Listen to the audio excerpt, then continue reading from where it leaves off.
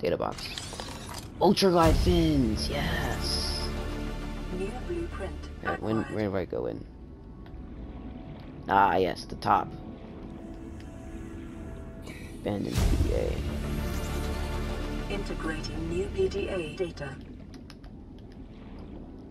Anything else here? No. Okay, heading back. It's pretty successful, I must say. Wait, something else back here?